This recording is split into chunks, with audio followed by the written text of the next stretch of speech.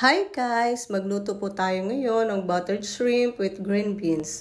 So first off, tinutunan ko po muna yung ating butter. So ang ginamit ko po dyan ay classic butter. Tapos ngayon naman, nilagyan ko po siya ng uh, garlic.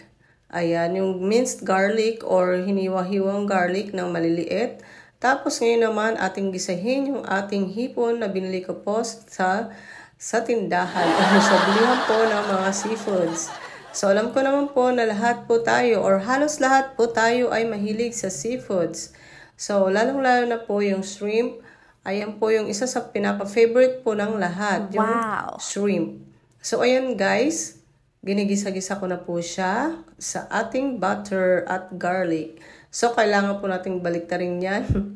ayan, kailangan po nating maluto or makita natin na magkulay orange yung bawat sides po ng ating shrimp. Ayan po guys. And then pagkatapos niyan, ilagay na po natin ang ating green beans or ang ating uh, Baguio beans. Ayan. So kailangan din po nating i-gisa po yung ating green beans at ang ating shrimp na ating binili po sa palengke. Okay guys. So ayan naman. Uh, Ayan, wait po natin na maluto po or ma-absorb ng ating green beans at shrimp ang butter. Ngayon naman, meron po akong isang twist. Nilagyan ko po siya ngayon ng broccoli dahil mahilig po ako sa broccoli. So, ayan po yung ginawa ko. Um, instead po na green beans lang, nilagyan ko pa rin po siya ng broccoli. So, ayan po. First time ko po magluto ng ganyan na may broccoli.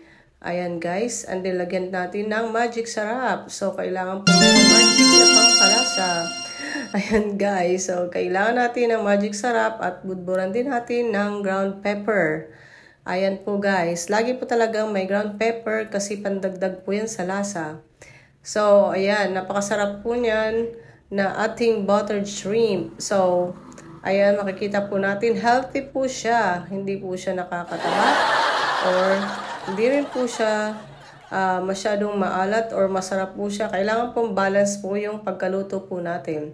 Ayan guys. So pwede nyo pong dagdagan or lagyan po ng konting water if you want po. Pero ako, uh, butter lang po yan na ginamit ko. So ngayon, syempre nag, uh, gumagawa din po ng sariling water yung ating uh, shrimp. Ayan.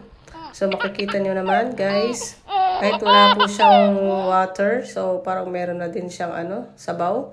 So, ayan na po guys, luto na ang aking buttered shrimp with green beans and broccoli. Thank